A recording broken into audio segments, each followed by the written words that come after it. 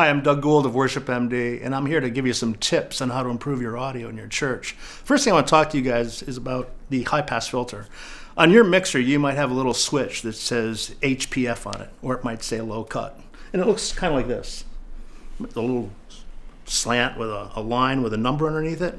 That number indicates what center frequency the highs are going to pass from. And cut everything below that number. And it's very useful because it gets rid of a lot of the rumble that happens on your stages, especially small worship stages that are plywood, carpeted, a lot of kick drum rumble, that kind of noise. If you apply that switch to every one of your vocal mics, your guitars, your snare drums, your cymbals, anything that produces mid and high frequencies, it'll remove all the rumble and low end noise that you get.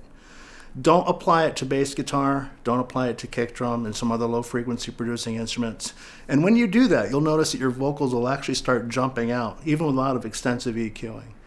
Um, fixed high pass filters are good, but variable ones are even better, like the one I have in this PreSonus console. This one actually varies the center frequency from zero all the way up to 1K. And why would that be useful? Well, think about a hi-hat for a minute. Hi-hat's very close to a kick drum. If I would able to high pass that microphone all the way up to the lowest frequency of the hi-hat, it would eliminate all that noise. And same thing with cymbals on overheads. Same thing with female vocalist. I can write it up a little bit above, above 80. There's really nothing in the human voice below 100 hertz. So play with it, use your ear, and adjust it accordingly. And I'll see you next time for the next tip.